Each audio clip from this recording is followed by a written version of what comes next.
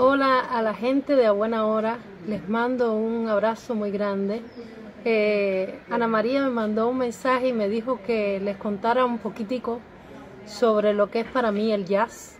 Estoy aquí en el balcón de la casa como, bueno, como la mayoría de la gente que tiene que estar en la casa encerrado. Y les cuento un poquitico, mi viaje por el jazz fue un viaje muy natural, fue a partir de, de las canciones que que hacía que llegué y empecé a como a encontrarme con, con, el jazz, porque para mí uno llega al jazz a través de, de, una conversación, es como que tú piensas que es el jazz y yo pienso en cantar. Cuando me preguntan qué cosa es, yo lo que siento es un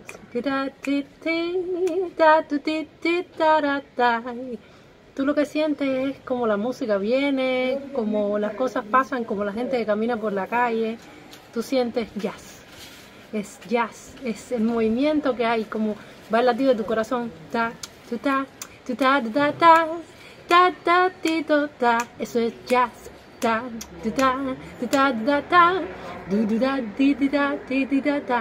y si puedo ponerlo un poco como los tambores que se van pa' aquí y pa' allá, que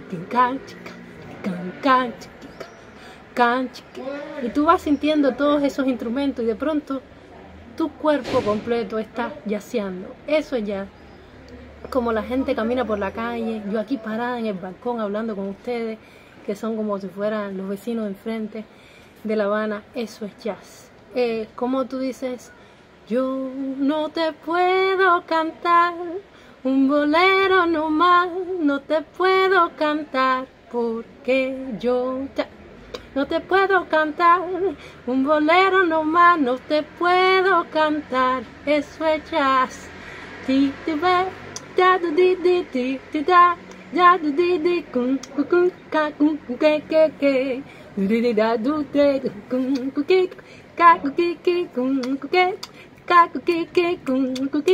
un bolero nada más.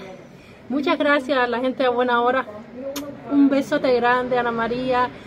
Espero que todas las cosas vayan bien por allá. Un abrazo muy grande para la gente de Cuba. Y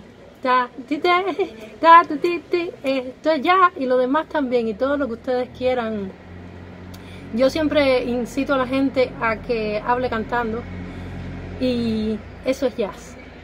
Yo siempre digo que lo mejor es cantar. Si tú no puedes más, lo mejor es cantar. No tienes que hablar, lo puedes decir de esa manera que tú haces ya. Y lo cantas igual. Se convierte en canción y lo puedes soltar. Eso es jazz.